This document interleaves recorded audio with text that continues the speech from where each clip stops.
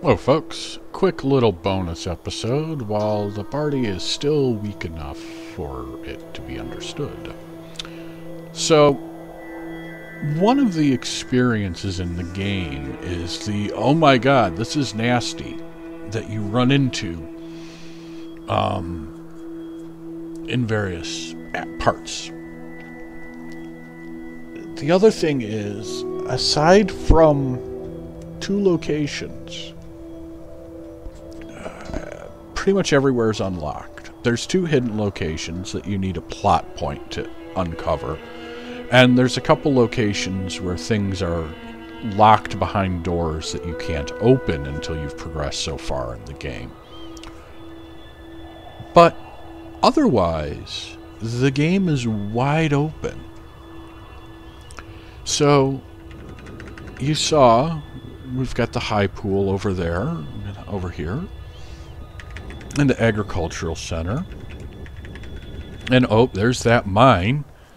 And this was especially insidious uh, with the game because right here, this is a little harder to see. It just kind of looks like a mountain. But in the original game, it was just one of the generic city icons. So you're like, oh. Oh, that's neat. The Guardian Citadel. I wonder what this is. You walk up and... Oh. Cute. This sounds ominous. Paragraph 85, huh? Well, let's see what this has to say. You know the Guardians to be strange collectors of old items, and as xenophobic fools who would not hesitate to kill strangers without ever seeing the whites of their eyes. You've learned that the flags are in place to mark the closest an outsider may approach the walls without being attacked. Hmm. Black structure. Hmm, that, that doesn't seem likely. Leave Wasteland Scum, you're not old enough to die here. Realize you've not got the armor it would take to survive an assault on this place. You don't have the weapons to crack this nut yet. Now, when you're just playing the game, hoo hoo hoo he he he, you kind of ignore that. But in reality, it's not kidding. The game is actually does check. I, uh, at least one version did would actually check the party's armor. So if you came in here and you had the armor and you had the weapons, uh, either these would change or they'd go away. Or it's just, you, it never thinks you've got enough. But it's like, oh, this isn't, this isn't real. Yeah, and there they are. And, oh, Sister Theodosa. Oh, I better load. Oh, and Thrasher's only got a knife. Oh, but Snake can shoot. Sister Theodosa, Sister Lucretia, and Sister Ursula. Well, I mean, it's a nun with a gun, but I mean, how bad can it be? Oh. Knocks him unconscious. Critically wounds him. Oh.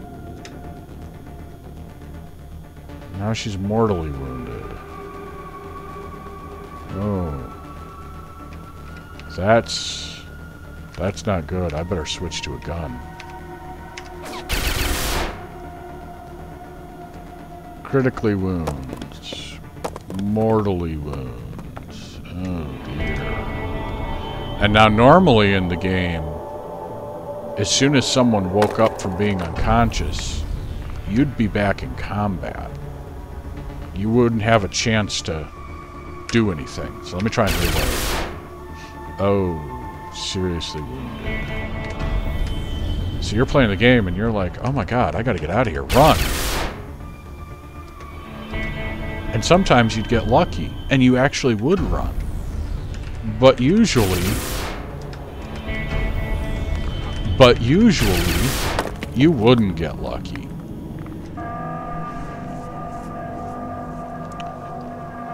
And truth be told, those were some of the weaker Guardians. If you made the mistake of rushing up to Brother Goliath, he'd put you in the. So, yeah, this was shockingly common because the Guardian Citadel is an endgame location. It is usually the second to last place you go. And it's right there at the beginning. And you were told, hey, go west. There's these three places to the west of you. You should start looking there. And oh, here, here's another place that's right by them, so it should be of a similar level, right? No.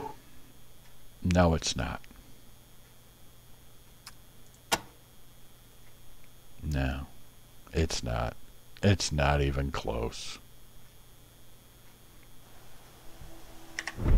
And if you go to Brother Goliath... Let's see if we can even get to Brother Goliath. Now, what I did as a kid was this, Brother Goliath. Oh, knocked him comatose straight off. Are we there? Nope, we're not there yet. I charged Brother Goliath because I was like, alright, I'm going to take down Brother Goliath. Giant of a man in heavy black armor.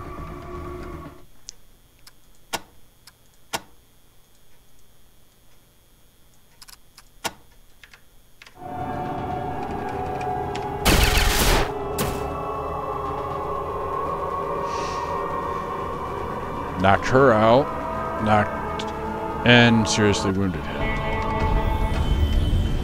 And you're like, oh, yeah, this is pretty bad.